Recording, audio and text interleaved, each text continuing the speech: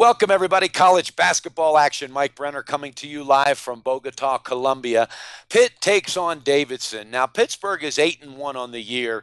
Michael Young is the, the leader. He is the floor leader for this team. He's averaging 17 points a game, 8 rebounds a game, and he's shooting 60% from the floor. That's very impressive. They are 3 and 4 against the spread, and Pittsburgh struggled mightily last game. Uh, they finally pulled away at the end, beating Morehead State 72 to 62. Now Davidson, on the other hand, is seven and one on the year.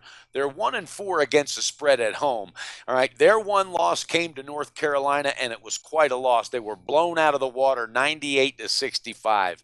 Jack Gibbs is the leading scorer for Davidson. He's averaging 25 points a game, and he's also averaging four and a half assists a game. All right, this could be an intriguing ball game if Davidson has the energy early. The line opened up at Pittsburgh minus four and a half. If I had to have a pick, which I don't, all right, I will do a lean. Okay, the lean I'm going to say take Pitt minus the four and a half. I think Davidson might just be out of their league a little bit. Okay, again, this is just a lean.